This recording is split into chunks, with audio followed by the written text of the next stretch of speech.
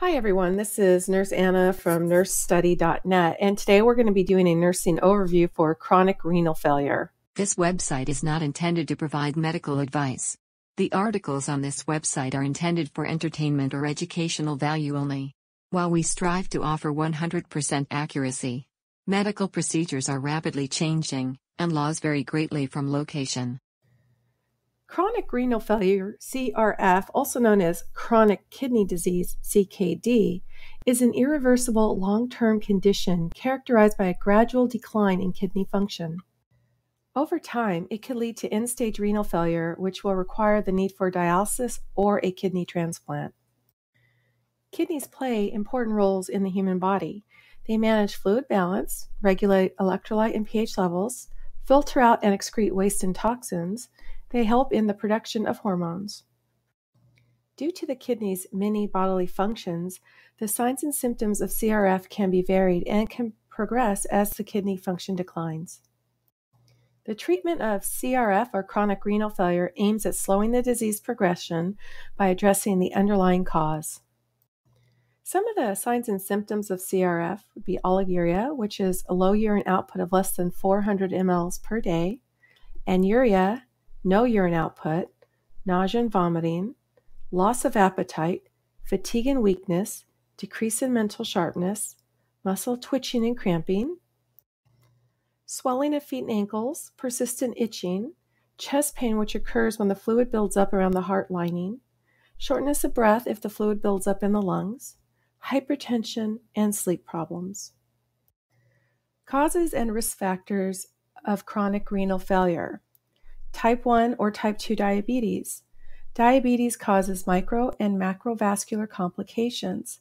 Kidneys are often affected by the damage to the renal blood vessels, which will cause damage and reduction to the kidney functions. Hypertension.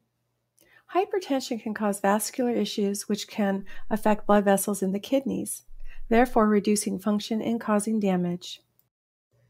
Glomerulonephritis. Prolonged inflammation of the glomeruli in the kidneys can lead to chronic renal failure.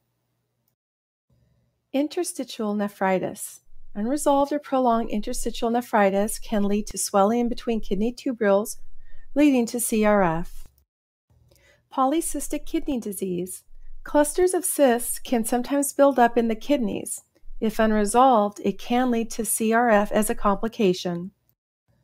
Long term obstruction of the urinary tract from conditions such as enlarged prostate, kidney stones, and some cancers. Pyelonephritis. Kidney infection, if left untreated or if prolonged, can cause permanent damage to the kidneys. Cardiovascular disease.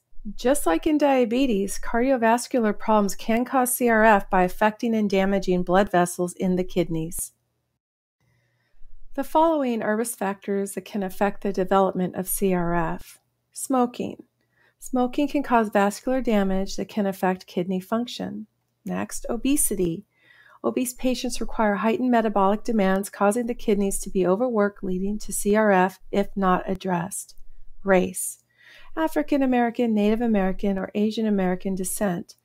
CRF is known to be higher in races known to have higher prevalence of hypertension and cardiovascular disease. There is also a family history of kidney disease, abnormal kidney structure. And this is where anatomical issues can cause changes to kidney functions, which can also lead to CRF. Older age, organs decline and lose function as the human body ages. Complications of renal failure. The kidneys play important functions in the human body.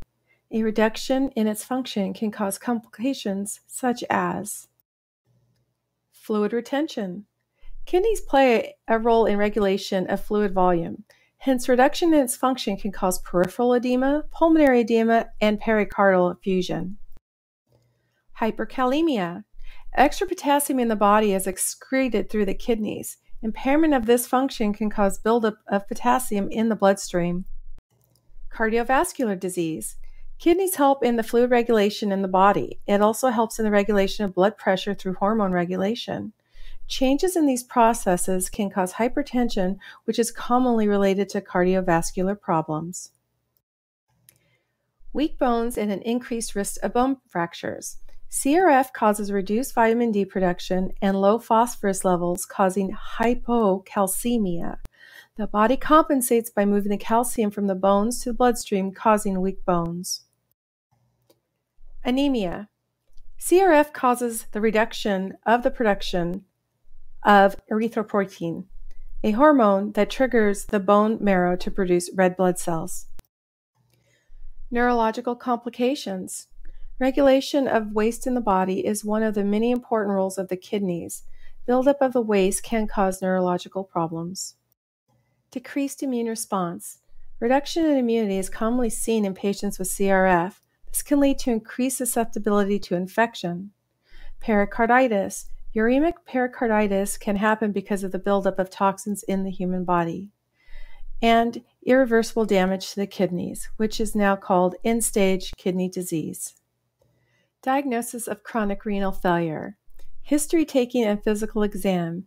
A detailed medical and family history will be taken by the healthcare provider when making a diagnosis of chronic renal failure. Physical examination will also be done to correlate with the results of the diagnostic procedures. Blood tests. Creatinine and urea are blood markers that will reflect kidney function. Estimated glomerular filtration rate, also known as EGFR, can help indicate the stage of renal disease. Urine tests to give healthcare providers information about the patient's kidney function. Imaging tests, such as CT scan, to gather information about the current structure and size of the kidneys and other related organs.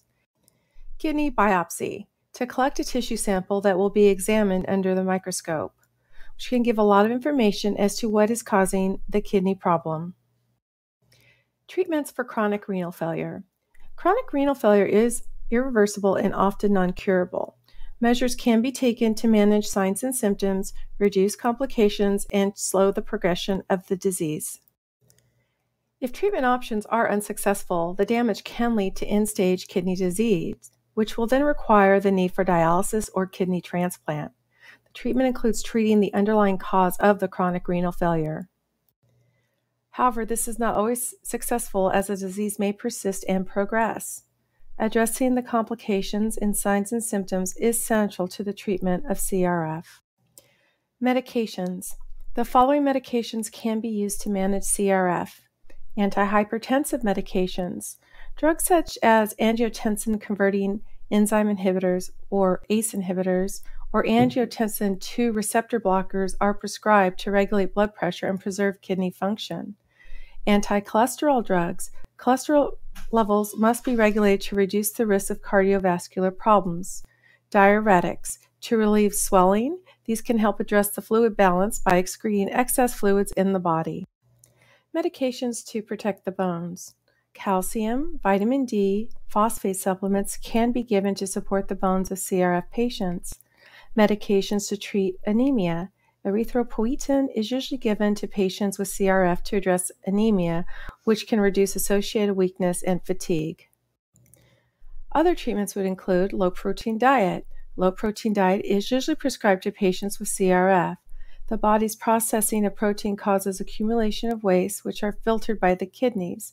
Reduction of dietary protein means reduction of waste products, giving the kidneys rest and preventing further deterioration of renal perfusion and function. Lifestyle changes. The patient should be encouraged to undergo a smoking cessation program to prevent further vascular damage. An exercise regimen, as recommended by the physiotherapy team, should also be considered.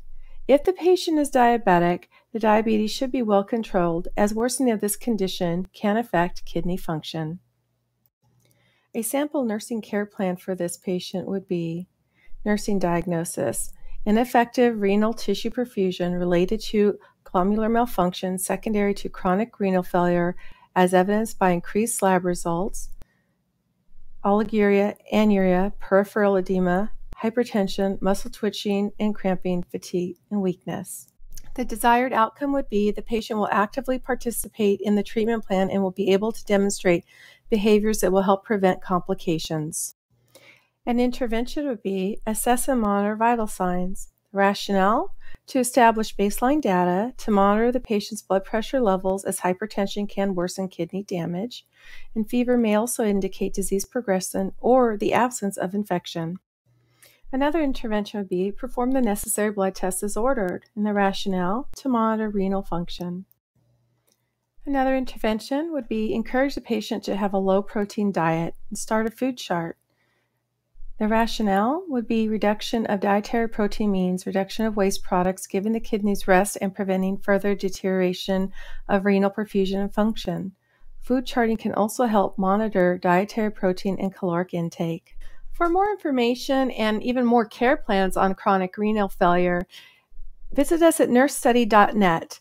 And we have lots of topics, subjects, charts, care plans uh, for you guys to help you through nursing school. This is Nurse Anna from nursestudy.net. Thanks for listening.